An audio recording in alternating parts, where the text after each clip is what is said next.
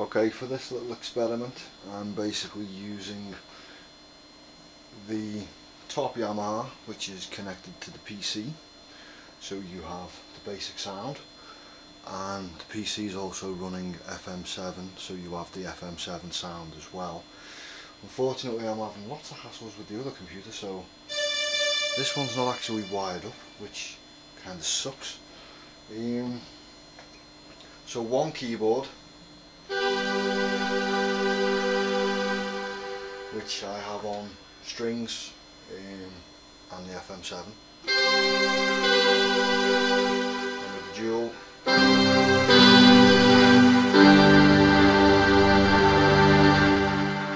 to give you a better idea of what FM7 actually brings in the background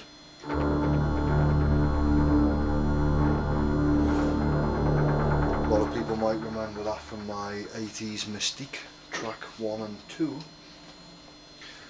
I've decided to get back into it for a bit because um, I've just set a mate up with FM7 so I thought I'd better get mine wired up too because we're probably going to end up jamming again at some stage. When I get my head around Cubase I will expand beyond the FM into the VSTs but for now I'm just going to have a little jam because it's been a while as usual. So Thank you.